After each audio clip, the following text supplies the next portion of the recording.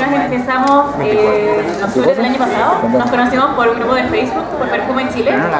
Eh, yo empecé a buscar gente porque en verdad era mi sueño bailar perfume y estas dos mujeres me acompañaron. Ninguna de las tres se conocía entre sí. Y ha sido bacán.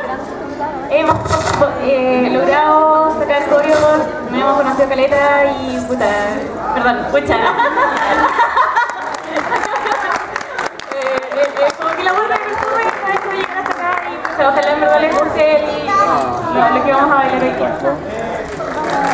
Ahora sí, creo que estamos listos con ustedes en este escenario debutando en Local Iron Fest 2